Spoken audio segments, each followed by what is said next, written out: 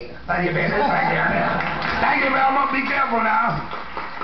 Be careful you don't break nothing. that was a message.